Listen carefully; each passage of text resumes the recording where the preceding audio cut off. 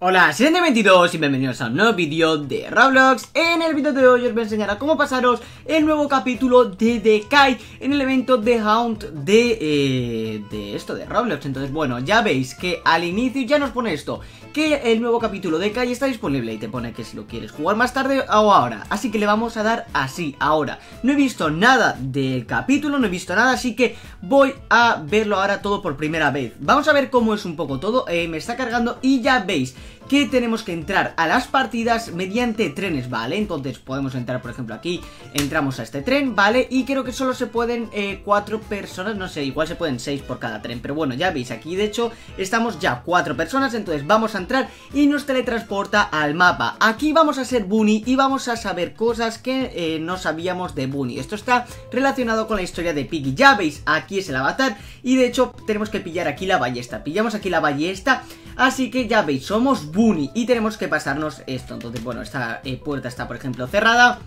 Y lo, de los eh, lo del metro, que no lo he dicho, es porque eh, esto está inspirado en el mapa del metro. De hecho, nos podemos...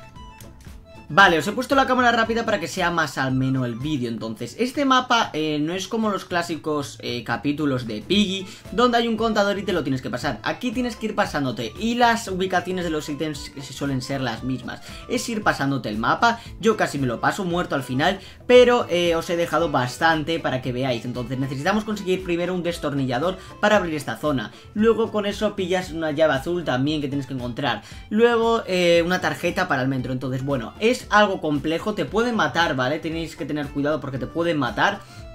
Y eh, hay cosas que son un poco difíciles, sobre todo la última parte que es un poco más de intuición, ¿vale? Pero bueno, en general es pasarte el mapa mediante ítems, lo podéis jugar online con diferentes personas y amigos y mirar ahí encuentro el destornillador y con el destornillador vas aquí y lo abres, entonces eh, está bastante bien el mapa, o sea, eh, básicamente con que juegues tú te lo vas a ir pasando a medida, porque eh, como tal si tienes cuidado con la ballesta y vas matando a los mobs que van apareciendo, no tienes por qué preocuparte, porque lo demás con amigos puedes ir consiguiendo todos los ítems y ir pasándote el mapa, entonces eso, tenéis que iros pasando el mapa y es muy fácil, ¿vale? Yo he muerto al final pues porque me había hecho daño al caerme de un sitio y luego quería probar un ítem que sería el hacha, que era para otra cosa, pero bueno, eh, sí que si tenéis cuidado es fácil, pero tenéis que tener bastante cuidado. Y de hecho hay algún susto, eh, así que tener cuidado, porque te, hay algún susto, yo me he comido algún susto eh, a lo largo de la partida, pero bueno, es un capítulo de miedo y a medida que juegues te lo vais a ir pasando porque es ir encontrando los ítems. Así que bueno, si os ha gustado el vídeo, darle like, suscribiros si no lo estáis, y eso es todo, adiós.